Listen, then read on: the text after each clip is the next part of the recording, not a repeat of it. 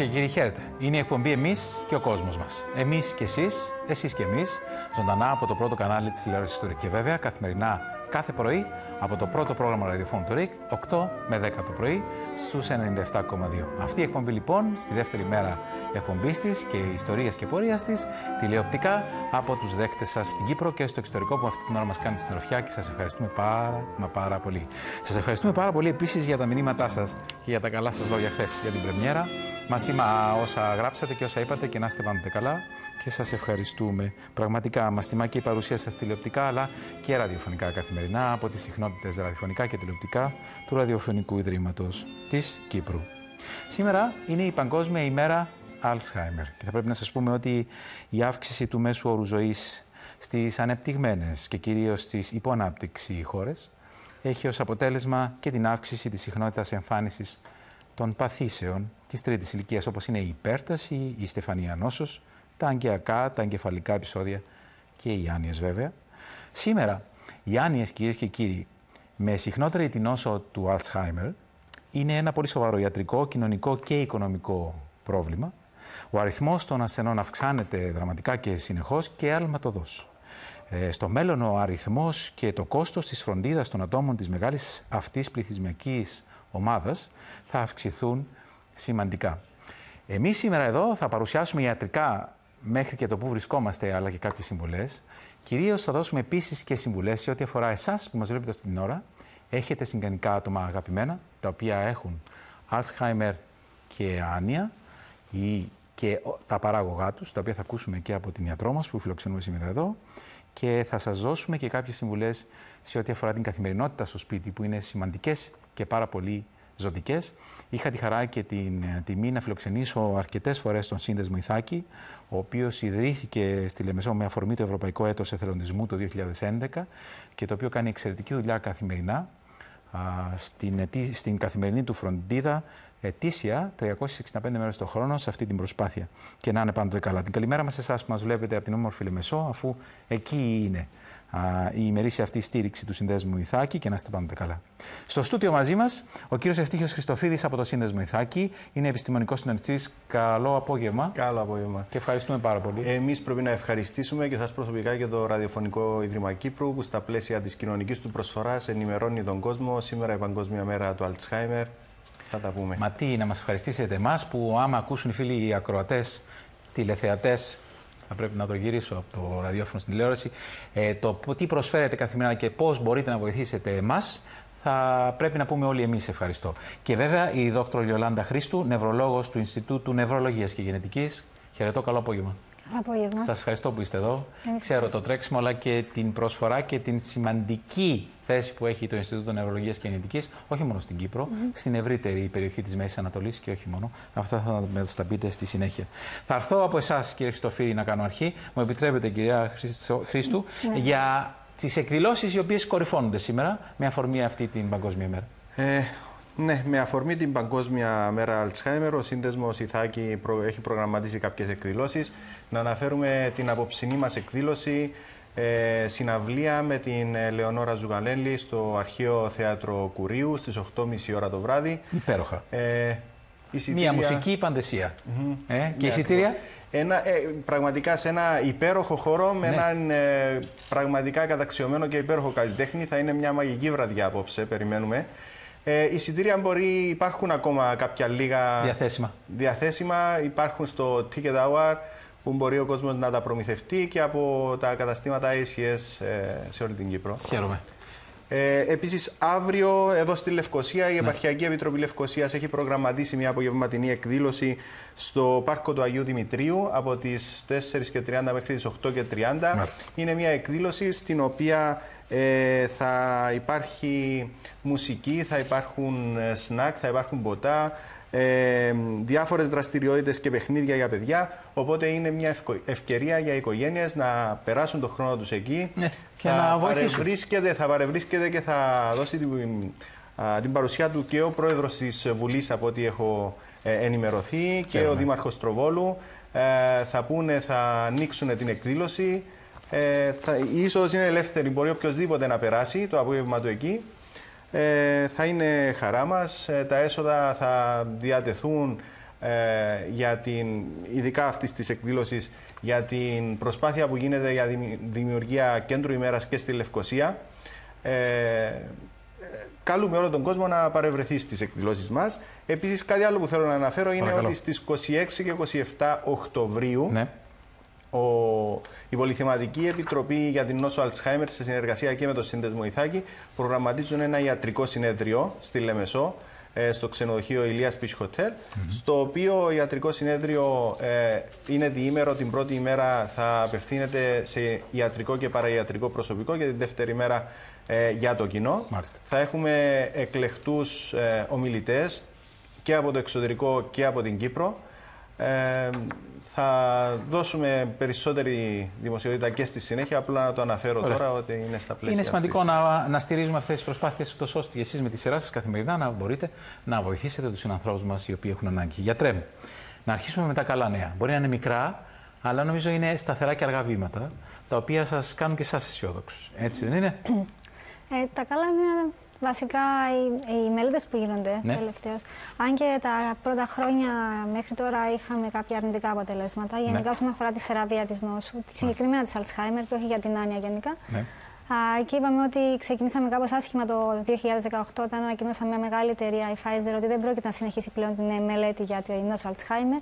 Αυτό έχει ρίξει πάρα πολλά χρήματα και αποτέλεσμα δεν υπήρχε ε, έφτασε ο Ιούλιος για να ανακοινωθεί από μια άλλη μεγάλη εταιρεία στην Αμερική ότι μια δοκιμή που έκανε σε ένα συγκεκριμένο φάρμακο για 18 μήνες είχε ως αποτέλεσμα τη βελτίωση τόσο του γνωσιακού κομματιού στους ασθενείς, αλλά και απεικονιστικά απέδειξε ότι υπάρχει μια βελτίωση των παθολογικών ευρημάτων. Βέβαια, είναι στα αρχικά στάδια. Μιλούμε για μια φάση 2, που σημαίνει δόθηκε σε περίπου 86 άτομα. Και το επόμενο βήμα είναι να μπει, σε, να μπεις σε μια φάση 3 με πιο πολλά άτομα για να δούμε κατά πόσο αυτό ισχύει ναι. και είναι στατιστικά σημαντικό. Ναι, και αυτή η φάση 3 είναι αυτή που θα δώσει και περισσότερες ελπίδες, αντιλαμβάνομαι, σε ό,τι αφορά το να χρησιμοποιηθεί εύρεω πλέον στους ε, ανθρώπους. Είναι η φάση που θα δώσει το πράσινο φως στις ε, διάφορες υπηρεσίες, αρχές όπως είναι φαρμακευτικές υπηρεσίες Αμερικής να εγκρίνουν το φάρμακο για να μπορέσει να προχωρήσει παρακάτω, στην, ε, να, διαθε, να το γίνει διαθέσιμο στην, ε, στον κόσμο.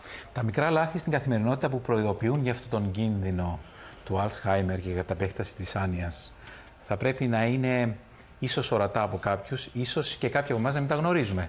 Θα θέλετε λίγο να δώσουμε ναι. κάποια σημεία αναφοράς. Δεν είναι όλα τα μικρά λάθη μνήμης που μπορεί να κάνουμε Αλλά... στοιχεία κάποια έναρξη ανοικής διαταραχής. Ναι. Μιλούμε για οι διαταραχές αυτές, οι αλλαγές αυτές στην καθημερινότητα μας έχουν ως αποτέλεσμα να επηρεάζεται σημαντικά η λειτουργικότητα του ασθενούς. Οπότε, εάν μιλάμε για ένα, μια, ξεχνάμε κάποια πράγματα που τα έχουμε βάλει, αυτό δεν είναι ένδειξη ότι ναι. υπάρχουμε μόνο ο Και να μην αγχώσουμε τώρα τους φίλους τηλεθεατές ότι με το να ξεχνάμε ή να επαναλαμβάνουμε κάποια πράγματα ή να μας πει κάποιος, Μα μου το είπες πριν από λίγο αυτό, δεν σημαίνει ότι είναι ναι. και ένδειξη, έτσι. Όχι, δεν είναι ένδειξη. Αυτό που αλλάζει και βάζει κάποιες υποψίες όταν αρχίζει να επηρεάζεται η λειτουργικότητα του. Δηλαδή, δηλαδή δεν θα μπορεί να κάνει τις καθημερινές ε, ε, εργασίες του που έκανε στο παρελθόν, να πάει στο σούπερ μάρκετ να ψωνίσει κάποια πράγματα, να, να, να βρει μια διεύθυνση που είναι οικία, μπορούσε να πάει σε κάποιο σπίτι φίλου. Δηλαδή να τώρα... χάνει και τον προσανατολισμό. Τον προσανατολισμό του, ναι. Να βάζει αντικείμενα σε σημεία που είναι τελείως ε, ακατάλληλα, π.χ. τα γυαλιά μέσα στο ψυγείο. Mm. Κάποια πράγματα που είναι πολύ διαφορετικά επηρεάζουν τη λειτουργία του πλέον. Και να μην θυμάται ύστερα ότι το έκανε αυτό το πράγμα. Έτσι. Ναι, ναι. Ναι, δεν, είχε, δεν, είχε λογικό, δεν ήταν λογικό να βάλει τα γυαλιά στο ψυγείο, οπότε αυτό δείχνει κατευθείαν ότι υπάρχει μια διαταραχή στη λειτουργικότητα του. Μάλιστα. Και είναι και μύθος το γεγονός ότι συμβαίνει μόνο αυτό σε ηλικιωμένους, αν θέλετε, γιατρέ, ή έχει να κάνει από μια ηλικία και μετά; Ε, η νόσος είναι ηλικιοεξαρτώμενη. Δηλαδή, εξαρτάται από την ηλικία. Και όσο αυξάνει η ηλικία, αυξάνει και η πιθανότητα να εκδηλωθεί. Ε, τα περισσότερα περιστατικά είναι άνω των 60-65. Ε, για οτιδήποτε κάτω των 60 μιλάμε για πρώιμη έναρξη άνοιας και είναι περίπου το 2%. Δεν είναι πάρα πολύ συχνή. Ναι. Ε, τα πιο πολλά περιστατικά είναι άνω των 60. Και όσο μεγαλώνει η ηλικία, τόσο αυξάνει και η πιθανότητα να εκδηλωθεί. Μάλιστα. Υπάρχει τρόπος να το εντοπίσουμε έγκαιρα ή αν θέλετε όταν θα το εντοπίσουμε θα πρέπει έγκαιρα, να αντιστρέψω την ερώτηση, να ζητήσουμε βοήθεια και να μπορέσουμε να καθορίσουμε τα όρια από εσάς τους επιστήμονες βέβαια. Ιατρικά εννοώ. Η άνοια δεν είναι αναστρέψιμη κατάσταση. Δεν είναι. Ούτε κάτι που μπορεί να σταματήσει την εξέλιξη της υπάρχει. Μάλιστα. Αλλά μπορούμε να επιβραδύνουμε την εξέλιξη και να έχουμε μια καλύτερη ποιότητα ζωής. Ναι. Και αυτό μπορεί να γίνει Βέβαια και με τη φαρμακευτική αγωγή που υπάρχει αυτή τη στιγμή, να καθυστερήσουμε κάπως την εξέλιξη της νόσου ή με τη χρήση κάποιων άλλων διατροφικών στοιχείων που μπορούν να βοηθήσουν την καθυστέρηση της εξέλιξης. Η άσκηση έχει δείξει ότι είναι πάρα πολύ σημαντικό κομμάτι. Όταν λέμε άσκηση, περπάτημα; Περπάτημα, κολύμπι, χορός, Δηλαδή, τα άτομα που είναι μίας ηλικίας συγκεκριμένη, όπως την καθορίσατε και πάνω, θα ήταν καλά να έχουν συγκεκριμένες δραστηριότητες ναι, καθημερινά ή μια ή δύο φορές τη βδομάδα. Αυτό έχει αποδειχθεί από μια μελέτη που είχε γίνει στη Φιλανδία, τη Finger, ναι. όπου είχαν πάρει άτομα της, ε, με ήπια γνωσιακή έκπτωση, δηλαδή δεν είχαν χαρακτηριστεί σαν άτομα με άνοια. Ναι. Και τα χωρίσανε σε δύο ομάδες. Η μία ομάδα είχε αυστηρό πρόγραμμα άσκησης και διατροφής με, με σκοπό να μειώσουν το ψηλοζάχαρο, την ψηλή πίεση. Mm και να κάνουν και άσκηση και κάνουν και α, νοητική ενδυνάμωση με, με παιχνίδια. Μάλιστα. Και η άλλη ομάδα δεν είχε καμιά παρέμβαση, απλώς έκανε τα βασικά. Και έδειξε ότι η ομάδα που είχε μπει σε αυτό το πρόγραμμα είχε πολύ καλύτερο αποτέλεσμα όσον αφορά την εξέλιξη του γνωσιακού κομματιού. Οπότε φαίνεται ότι είναι συνδυαστικό, δεν είναι μόνο φάρμακα. Είναι τρόπος ζωής που πρέπει να αλλάξει. Άρα λοιπόν, σωστή διατροφή, σωστή σωματική δραστηριότητα Ίσως και ο επαρκής ύπνος, ένας καλός ύπνος να βοηθάει; Σίγουρα παίζει και αυτό, ναι. Ούτως ή άλλως διαταράσσεται όταν αρχίσουμε να έχουμε τα πρώτα συμπτώματα ανοική διαταραχή, αλλάζει και το, ο κύκλος του ύπνου. Μάλιστα. Και τα άτομα εννοείται ότι ξυπνάνε στο μέσο της νύχτας και πια δεν έχουν λιγότερη ώρα ύπνου, μπορεί να αλλάξουν, να κοιμούνται πιο πολύ την ημέρα και λιγότερο το βράδυ. Μάλιστα. Ναι. Τι γίνεται με το κάπνισμα, γιατρέ Το κάπνισμα. Περιμένω να ακούσω την απάντηση, την ξέρω βέβαια, αλλά πείτε μας. Το κάπνισμα ε, υπήρξε κάποια μελέτη που μιλούσε για την νοικοτήνη όσον αφορά σαν προστασία ναι. στην ευρωεκφύληση στη συγκεκριμένη, αλλά το ίδιο το κάπνισμα προκαλεί ε, οξυδοτικό στρες στα κύτταρά μας, που τη βάση του, της άνοιας και του Αλτσχάιμ είναι το οξυδοτικό στρες, που σημαίνει με το κάπνισμα μάλλον επιδεινώνουμε τις ε, πιθανότητες, αυξάνουμε τις πιθανότητες μας για να εκδηλώσουμε μια μορφή άνοια. Ναι, γιατί αντιλαμβάνομαι ότι από εκεί είναι και διορθώστε με αν κάνω λάθος ιατρικά, ε, αυτή η εκφύληση των νευρών κυτάρων ναι, των, νευρών. των νευρώνων είναι αυτά που σιγά σιγά αρχίζουν να αλλοιώνονται ναι, ναι. και εκεί θα προκαλέσουν το Alzheimer και κατ' επέκταση ίσως και την άνοια. Έτσι; Ε, το, το Alzheimer είναι η άνοια, είναι μια μορφή άνοια. είναι μια μορφή άνοιας. Ε, υπολογίζουμε ότι η έναρξη των αλλαγών ναι. δεν είναι στη στιγμή που εκδηλώνονται τα, τα συμπτώματα, αλλά... αλλά έχει συμβεί αρκετά χρόνια πριν. Δηλαδή, μπορούμε να υπολογίσουμε καμιά εικοσαετία, ίσως και 30 ότι χρόνια ότι μας πριν. Έχει συμβεί. Ότι έχει ξεκινήσει η διαδικασία. Α, δηλαδή, ε, θα μπορούσε από τώρα στην ηλικία των 40-50 να έχει ξεκινήσει; Να ξεκινήσει, αλλά τα συμπτώματα να εκδηλωθούν πάνω των 60. Και εκείνοι που στοχεύουν και οι επιστήμονες, εκεί, εκεί είναι η ουσία να βρεθεί θεραπεία, σε εκείνη τη φάση. Αντιλαμβάνομαι ότι ε, είναι η άσκηση, αλλά είναι και η εκμάθηση. Δηλαδή, θα μας τα πει και ο κύριος Χριστοφίδης. Η εκμάθηση καθημερινά των ατόμων στο ημερήσιο κέντρο φροντίδας σε διάφορα θέματα και δραστηριότητες είναι πολύ σημαντική για έτσι δεν είναι; Ναι, γιατί ε, τους βοηθά να βρουν και τρόπους να, να, να βελτιώσουν τον τρόπο σκέψης τους. Μαθαίνουν, ναι, όπως τα παιδάκια που τους κάνουμε μαθήματα, μαθαίνουν νέους τρόπους. Ναι. Ε, επιπλέον το να, να ξασκούν συνέχεια το, το μυαλό τους ε, διατηρεί τα αποθέματα τους. Είναι η, η θεωρία του νοητικού αποθέματος κάπως. Έρχομαι κοντά σας κύριε Χριστοφίδη. Ε, αντιλαμβάνομαι ότι αυτά τα άτομα είναι άτομα τα οποία πια σε αυτή την ηλικία και στο επίπεδο που βρίσκονται θα πρέπει να τους συμπεριφερόμαστε με τόση αγάπη, κατανόηση όπως το κάνετε εσείς στο κέντρο, αλλά και οι φροντιστές στο σπίτι. Όταν λέμε φροντιστές στο σπίτι, δεν είναι με μόνο επαγγελματίες. Εννοούμε και εμάς τους ίδιους. Τα παιδιά, τον σύζυγο, τη σύζυγο ή κάποιο κοντινό συγγενή. Με τόση αγάπη και τόση θέρμη, ώστε να ήταν ένα μικρό παιδί. Γιατί αν αυτό το μικρό μεγάλο παιδί ξυπνήσει το βράδυ και δεν κοιμάται και θέλει να βγει έξω στο δρόμο ή κλαίει και θέλει να φάει ή δεν θέλει να μείνει στο σπίτι και θέλει να βγει έξω. Αν ήταν μικρό παιδί μια μητέρα, δεν θα του βάζε τις φωνές και δεν θα το απόπαιρνε. Θα προσπαθούσε με κάθε δυνατό τρόπο και να το φροντίσει και να το ηρεμήσει και να του παρέχει όλη τη δυνατή προστασία. Αυτό είναι που γίνεται. Ε, έτσι ακριβώς. Σίγουρα για να μπορεί ένας φροντιστής, όπως είπατε και εσείς, οικογενειακός φροντιστής, ναι ε, να ανταποκριθεί στις απαιτήσεις που υπάρχουν όσον αφορά τη φροντίδα ενός ανοϊκού ασθενή, πρέπει να είναι εφοδιασμένος σίγουρα με πολύ αγάπη, με πολύ υπομονή, ε, για να μπορέσει να παρέχει την κατάλληλη φροντίδα στον ασθενή. Ε, εμείς στο κέντρο ημέρας αυτό που μπορούμε και προσφέρουμε επιπλέον είναι και η εκπαίδευση στον φροντιστή. Δηλαδή, ε, γενικά... εκτός του ότι φροντίζετε τα άτομα με άνοια, Γενικά, ο σύνδεσμος δραστηριοποιείται σε τρεις διαφορετικούς τομείς. Ο ένας τομέας είναι ε, η φροντίδα του ασθενή. Ε, φροντίδα Ε, στο, ε, έχουμε ένα κέντρο ημέρας όπου έρχονται οι ασθενείς ναι. με άνοια ε, και γίνονται δραστηριότητες νοητικής ενδυνάμωσης. Υπάρχουν. Πείτε μας τις. Υπάρχουν ε, διάφορο, διαφόρων ειδικότητων ε, επαγγελματίε. Υπάρχει ψυχολόγος, κοινωνικός λειτουργός, νοσηλευτής, εργοθεραπευτής, σε μια συνεργασία που έχουμε με τις υπηρεσίες ψυχικής υγείας. Υπάρχει ε, λογοθεραπευτής, υπάρχει μουσικός, υπάρχει γυμναστής. Ακόμα και, και προ... μουσικός και γυμναστής. Και, προ... και γίνεται έτσι μια προσπάθεια να παρέχουμε ε, δραστηριότητες νοητικής ενδυνάμωσης στην ολιστική τους μόρφη. Και πώς αρχίζετε τη μέρα, δηλαδή; Αρχίζετε τη μέρα λέγοντας. Πάντοτε ξεκινούμε τη μέρα με χρονο. Ε, χρονο...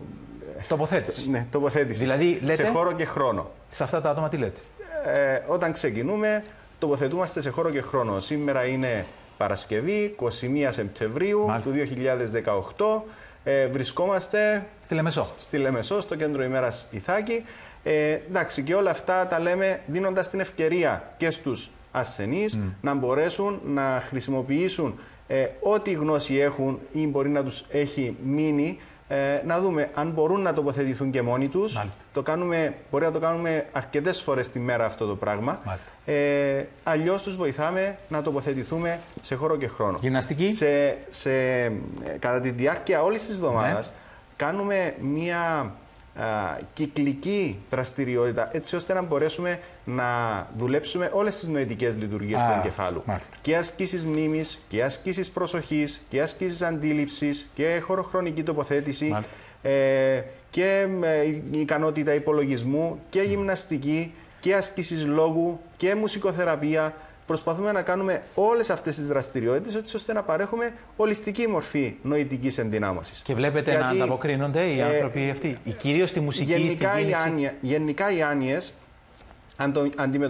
αντιμετωπίζονται με φαρμακευτικές και με μη φαρμακευτικές παρεμβάσεις. Ο συνδυασμός αυτών των δύο παρεμβάσεων μπορεί να δώσει τα καλύτερα δυνατά αποτελέσματα, δηλαδή να επιβραδύνει την εξέλιξη της ασθένειας όσο πιο πολύ γίνεται.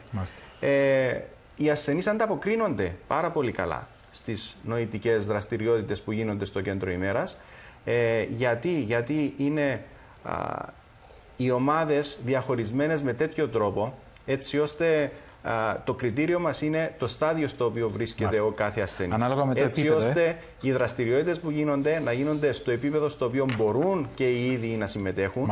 Ε, και νιώθουν ε, ότι μπορούν να κάνουν κάποια πράγματα, είναι χρήσιμα, έχουν ικανότητα τα άτομα να μπορέσουν να ανταποκριθούν σε αυτά που λέμε στη συζήτηση που γίνεται. Οπότε νιώθουν ότι είναι αποδεκτοί στο συγκεκριμένο χώρο, Μάλιστα. χρήσιμοι και νιώθουν ικανοποίηση, ευχαρίστηση. Μάλιστα. Γιατρέ, αντιλαμβάνομαι ότι υπάρχει και μία μορφή ψευδοάνοιας που ίσως εμείς να νομίζουμε ότι έχουμε, αλλά δεν είναι, και μπορεί να είναι υπεύθυνη από άλλες παθήσεις.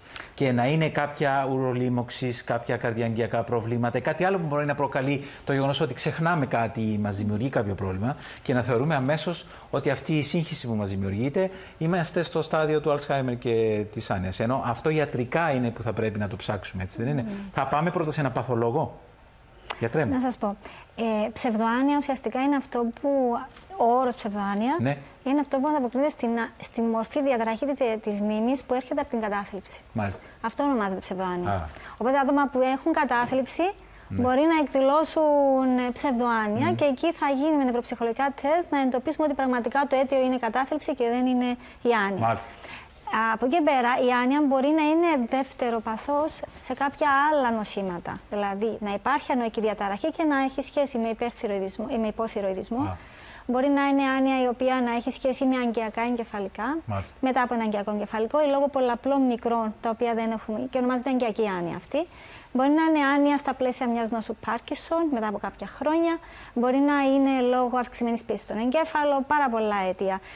Η, το, η ουρολίμωξη να προκαλέσει μια λίμωξη ε, κάποιες διαταραχέ από τη μνήμη προποθέτει να υπάρχει και ένα υπόβαθρο. Μάλιστα. Α, ωστόσο, δηλαδή... θα πρέπει πρώτα να πάμε σε ένα παθολόγο να. Α, να βάλεις στο πλάι οτιδήποτε άλλο μπορεί να υπάρχει και να ναι. προκαλεί κάτι ή να είναι εκείνο και να είναι ο λόγος, και μετά να μας παραπέμψεις σε έναν νευρολόγο, έτσι. Ναι, ή σε ένα έτσι. Τα κυριότερα αίτια, τα πιο συχνά είναι διαταραχή από το θηροειδή αδένα και έλλειψη βιταμίνης Β12, που είναι κάτι πάρα Σημαντική πολύ Β12. Πάρα πολύ θα πρέπει σε ηλικία από τα 60 και πάνω να λαμβάνετε καθημερινά; Να μετριέται τουλάχιστον για να ξέρουμε πού βρίσκεται, γιατί ναι. υπάρχει εξέταση που μπορεί να δείξει το επίπεδο ναι. και ανάλογα να δράσουμε. Αν χρειάζεται να παίρνουν συμπληρώματα είτε από το στόμα είτε ενδομικά, να τα, τους τα συνταγογράψει ο γιατρός τους. Κύριε Χριστοφίδη, ε, θέλω να έρθουμε και στο μεγάλο κεφάλαιο της εκπαίδευσης των ανθρώπων που είναι μέσα στο σπίτι και βοηθούν. Γιατί από ό,τι μου έχετε πει και ραδιοφωνικά κάνοντας την παρουσίαση αρχές της εβδομάδα, όταν ήρθατε, ε, φτάνουμε πια και στο σημείο στο σπίτι να γράφουμε πάνω στις πόρτες, κυρίες και κύριοι, τουαλέτα, υπνοδωμάτιο, σαλόνι, κουζίνα. Γιατί ο άνθρωπος αυτός πηγαίνει, στέκεται μπροστά στην πόρτα, ξεχνάει γιατί πήγε εκεί και δεν την ανοίγει καν για να μπει μέσα. Όλα αυτά αμέσως μετά το σύντομο διαφημιστικό διάλειμμα. Σας ευχαριστώ πάρα πολύ για τη συντροφιά σας. Σύντομη διακοπή, επιστρέφουμε αμέσως.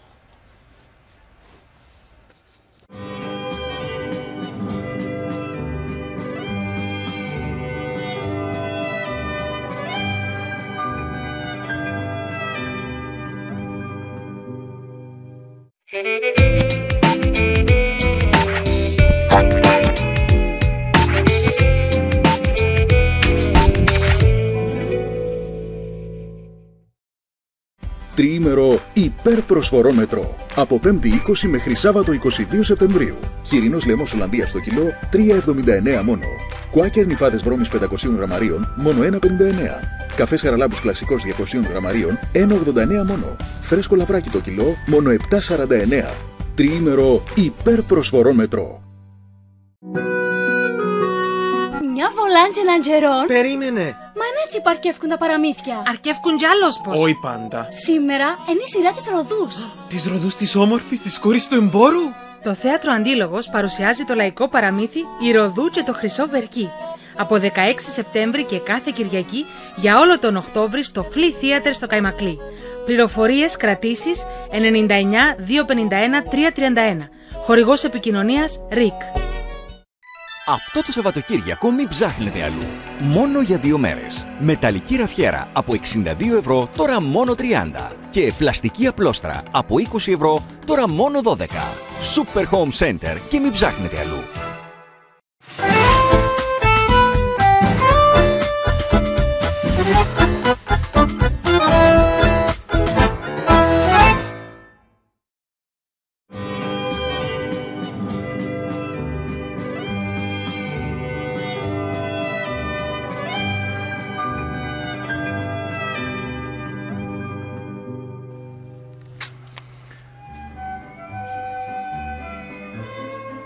Ευχαριστούμε επίσης σερμά για τα μηνύματα που αυτή την ώρα στέλνετε σε εμάς. Θα σας τα απαντήσουμε αμέσως μετά το τέλος της εκπομπής.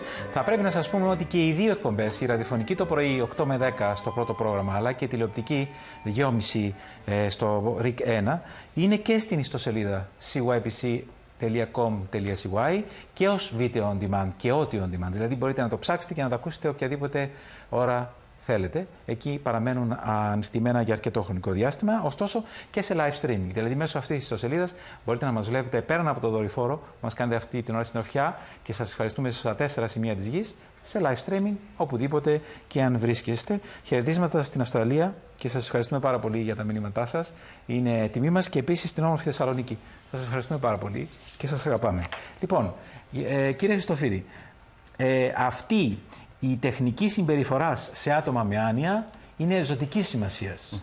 Δεν βάζουμε τις φωνές. Έχουμε κατανόηση. Βοηθάμε και προσπαθούμε ίσως, αν θέλετε, να αποσπάσουμε και την προσοχή στις έμονες ερωτήσεις ή σε αυτό που θα ήθελε ο άνθρωπος αυτός να κάνει, που τη συγκεκριμένη ίσως ε, στιγμή θα ήταν Θέλω να πάω σπίτι μου. Ενώ κάθεται στο σπίτι του και βρίσκεται εκεί. Τι κάνουμε σε αυτήν την περίπτωση, Του φωνάζουμε και του λέμε Μα είσαι στο σπίτι σου, τι είναι αυτά που λες; Όπως έχουμε πει πριν, ε, ο σύνδεσμος δραστηριοποιείται σε τρεις διαφορετικούς τομείς. Ο ένας ήταν, όπως είπαμε, ε, το κέντρο ημέρας και οι ασθενείς. Ναι. Ο δεύτερος ε, τομέας στον οποίο ασχολούμαστε είναι η εκπαίδευση των φροντιστών, ε, η εκπαίδευση, η στήριξη, η, η αποφόρτιση των ναι. φροντιστών, που είναι πάρα πολύ σημαντικό κομμάτι. Οι φροντιστές είναι πάρα πολύ αναγκαίο να γνωρίζουν για να μπορούν να καταλάβουν τι συμβαίνει στον σύντροφο μου, στον πατέρα μου, στη μητέρα μου, στον άνθρωπο μου, τι συμβαίνει, γιατί συμβαίνει, γιατί συμπεριφέρεται όπως συμπεριφέρεται. Πρέπει να μάθει και να ξέρει ποια πρέπει να είναι η στάση του απέναντι σε αυτό που μπορεί να αντιμετωπίσει. Ε, και πλέον να αντιληφθεί ότι ο ασθενής με άνοια ζει σε μια παράλληλη πραγματικότητα από αυτή που ζούμε εμείς. Πρέπει να το καταλάβει, να μπορέσει να μπει σε αυτό το, ε, το, το οποίο ζει ο ασθενής με άνοια για να μπορέσει να επικοινωνήσει με τον σωστό τρόπο μαζί του και να του δώσει τα σωστά μηνύματα. Μάλιστα.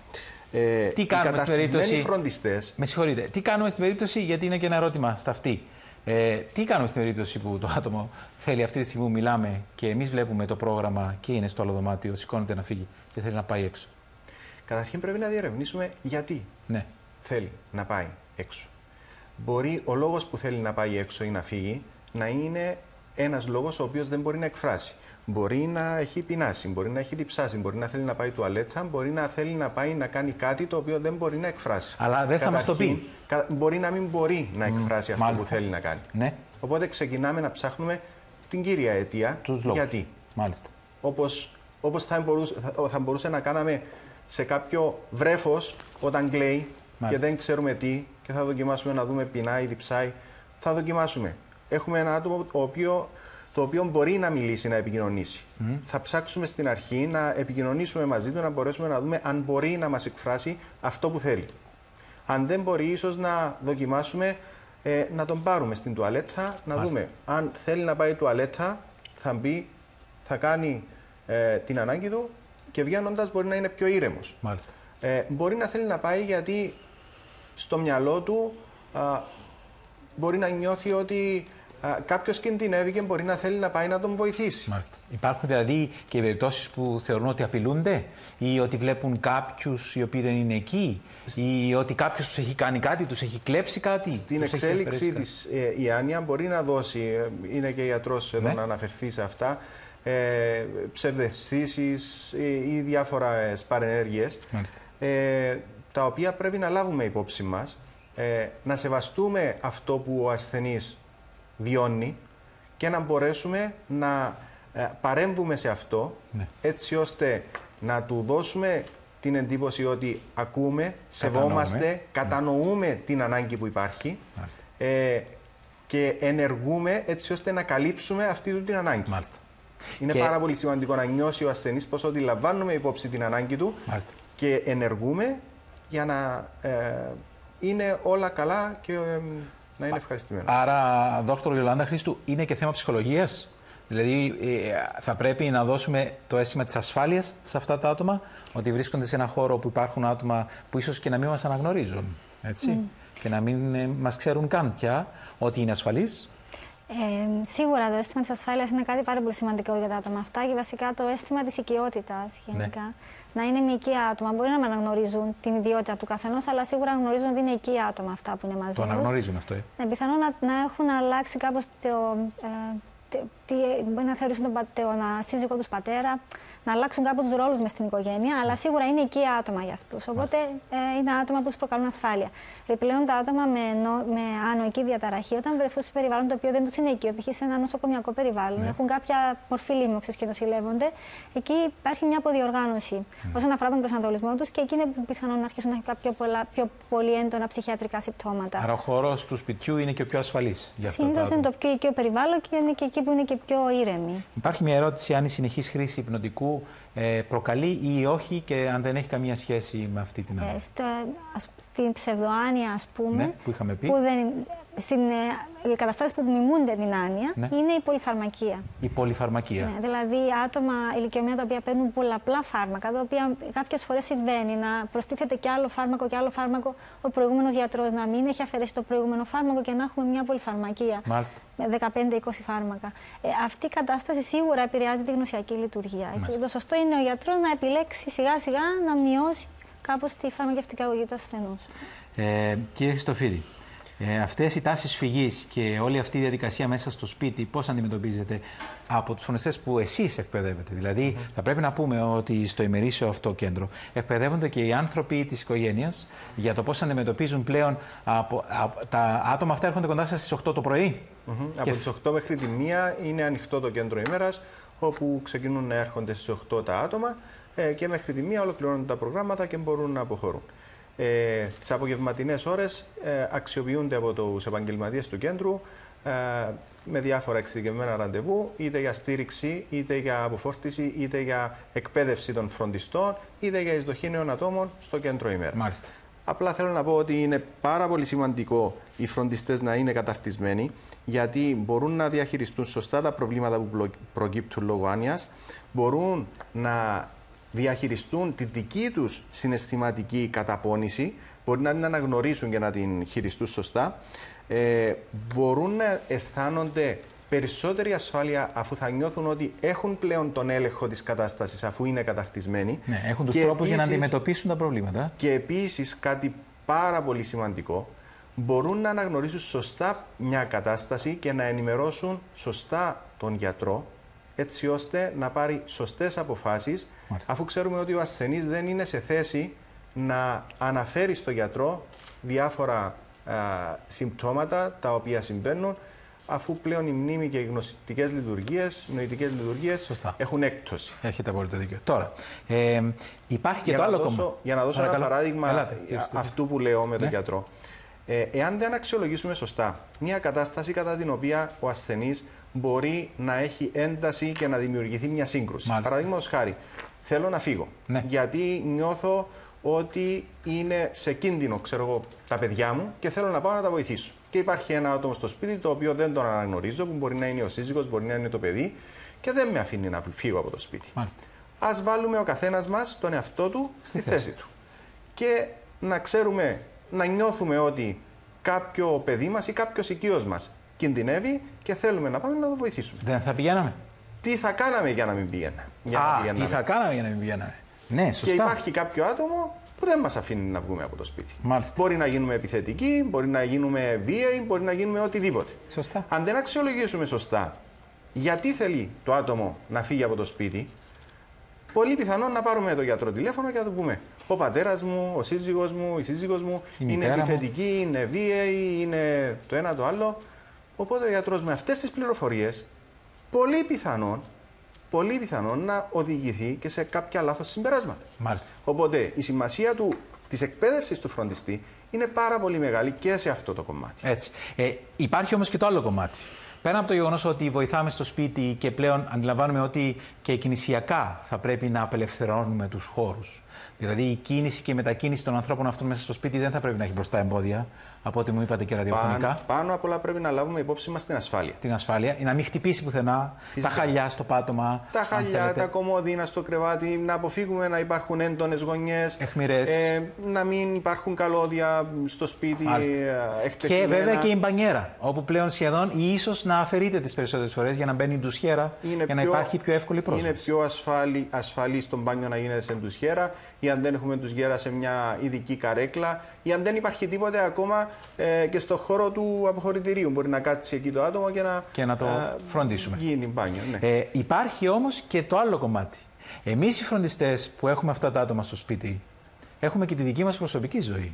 Ακριβώς. Τι γίνεται, γιατί μοιράζεται πλέον αυτό το κομμάτι και αυτή η πίτα και νομίζω είναι σαν ντόμινο και έρχεται το ένα και κυλάει και χτυπάει πάνω στο άλλο. Πολλές φορές λέμε ότι ο φροντιστής μπορεί να πεθάνει πρώτος. Αλήθεια. Και αυτό. Και όταν λέμε να πεθάνει, εννοείται ναι, αυτό... όχι στην κυριολεξία. Αυτό σημαίνει ότι ο φροντιστής μπορεί να πεθάνει πρώτος συναισθηματικά. Ναι. Μπορεί να πεθάνει ε, ε, οικονομικά. Μάλιστα. Μπορεί κάποιες φορές να πεθάνει και βιολογικά. Να μην αντέξει εννοείται αντέξει. και το ψυχολογικό ναι, παράγοντα. Γιατί ας μην ξεχνάμε ότι οι άνοιες, όπως είπε και ο γιατρός, είναι μια ηλικιοεξαρτώμενη ασθένεια ναι. και πολλές φορές ο σύζυγος ή η σύζυγος είναι και αυτός σε κάποια προχωρημένη ηλικία. Με τόση καταπώνηση στον τομέα της φροντίδας του συντρόφου, μπορεί ε, και ο φροντιστής ε, να, ε, να πεθάνει πρώτος. Υπάρχει και αυτή η περίπτωση. Οπότε πρέπει να φροντίζουμε ε, ο φροντιστής να έχει το δικό του χρόνο, προσωπικό χρόνο, τον οποίο να αφιερώσει στον εαυτό του. Στις καθημερινές να μπορέσει, να μπορέσει να γεμίζει τις παταρίες του, να προσφέρει όσο το δυνατό ποιοτικό χρόνο στη φροντίδα του ασθενή. Αλλά και να ξεκουράζεται. Και να ξεκουράζει. Και ο ίδιος. Ε, γιατρέ μου, η χρόνια χρήση ποτού, κατανάλωση ποτού, έχει επιπτώσεις; Είναι ένα άλλο ερώτημα. Ε, όταν μιλάμε για σημαντική κατανάλωση, Και πάλι είναι μια μορφή, είναι δευτεροπαθός άνοια. Δηλαδή; Δηλαδή έχει προκληθεί μετά από πάρα πολλά χρόνια κατάχρηση αλκοόλ. Άρα η κατάχρηση αλκοόλ κατάχρηση πιθανόν. Αλκοόλ. Πιθανόν, όπως μπορεί να κάνει και άλλα πολλά πράγματα. Στάθεια βάδισης, δηλαδή Μάλιστα. έχει αρκετά νευρολογικά συμβάματα που σχετίζονται με την κατάχρηση του αλκοόλ. Mm. Ε, είναι σύμπτωμα η άνοια σε αυτή την περίπτωση. Είναι σύμπτωμα. Ε; Ναι, δεν είναι ε, να το χαρακτηρίσουμε άνοια ξεχωριστή οντότητα. Είναι σύμπτωμα του χρόνιου αλκοολισμού. Το ίδιο και για τον καφέ είναι το επόμενο ερώτημα. Αν η υπερβολική χρήση ή η μακροχρόνια ε, προκαλεί; Δεν υπάρχουν τέτοιες ενδείξεις. Ε, κύριε Χριστοφή, Μάλιστα. κύριε Χριστοφίδη, ε, έρχεται ένα άτομο και στέκεται μπροστά από μία πόρτα και σταματάει έχοντας άνοια. Τι γίνεται;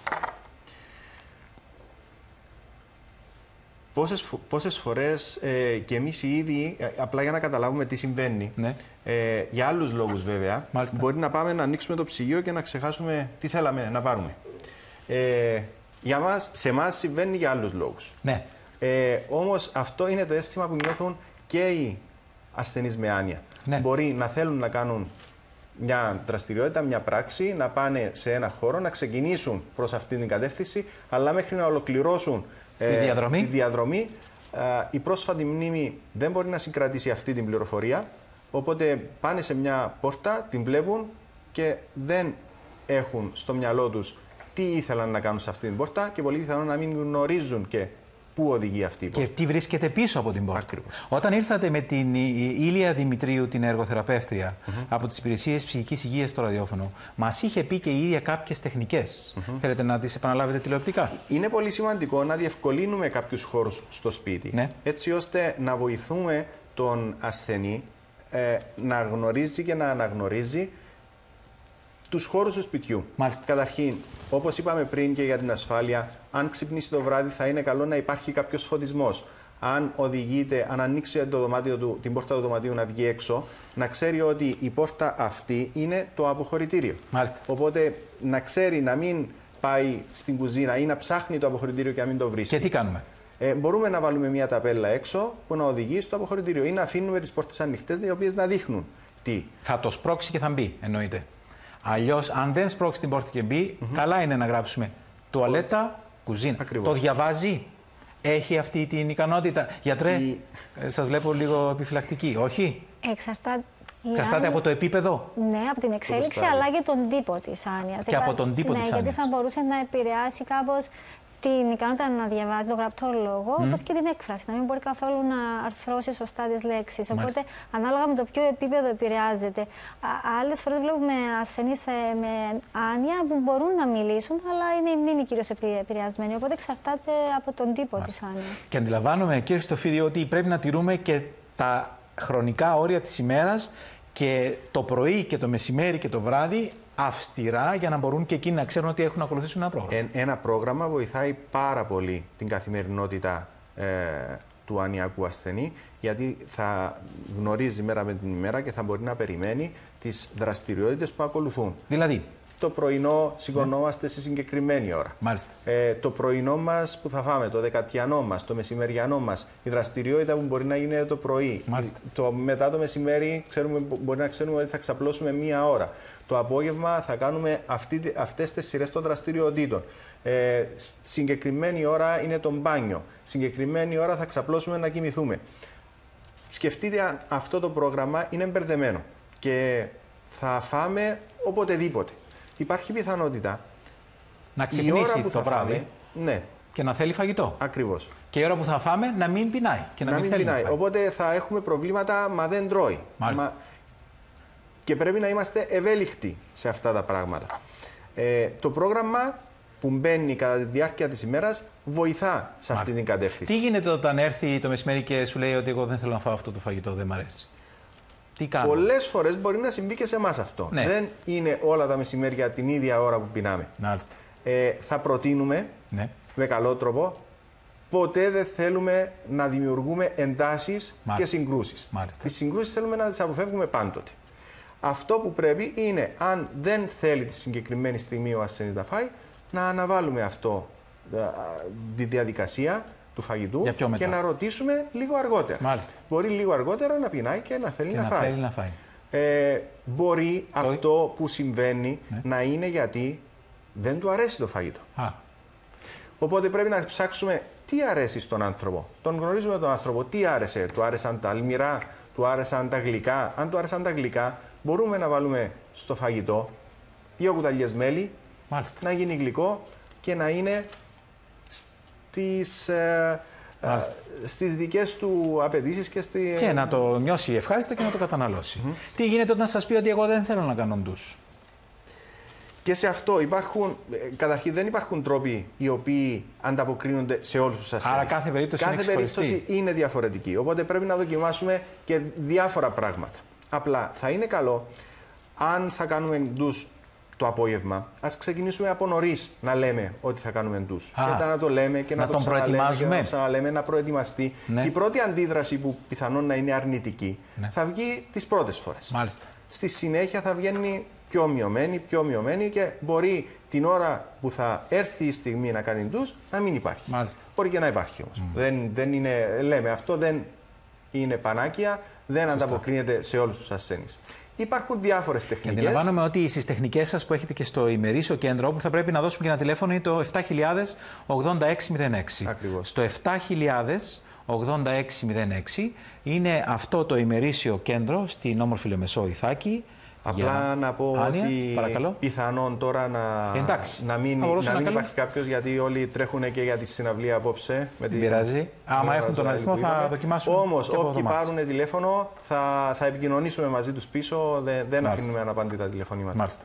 Ε, αντιλαμβάνομαι ότι αυτό το πρόγραμμα σε αυτό το κέντρο είναι τόσο γεμάτο που τελειώνοντας αυτοί οι άνθρωποι θα πάνε στο σπίτι και σε εισαγωγικά με την καλή έννοια θα είναι και εξαντλημένοι. Άρα θα θέλουν να ξαπλώσουν κιόλα για να τι; Γιατί θα πάω κι εγώ που εργάζομαι να πάρω το αγαπημένο μου άτομο από εκεί. Και να θέλω κι εγώ να ξεκουραστώ λίγο το απόγευμα. Άρα αυτό συμβάλλει και συντείνει, έτσι. Αυτή είναι και η λογική λειτουργίας του, του κέντρου ημέρας. Εκτός του κομματιού της νοητικής ενδυνάμωσης που γίνεται στο κέντρο ημέρας, το οποίο είναι βασισμένο σε επιστημονικά πρότυπα, ο φροντιστής μπορεί να έρθει να αφήσει τον ασθενή, ε, να περάσει κάποιες ώρες τις οποίες να τις αφιερώσει για τον εαυτό του, ε, να μπορέσει να γεμίσει τις μπαταρίε του και όταν θα έρθει να πάρει τον ασθενή να είναι πιο προετοιμασμένος.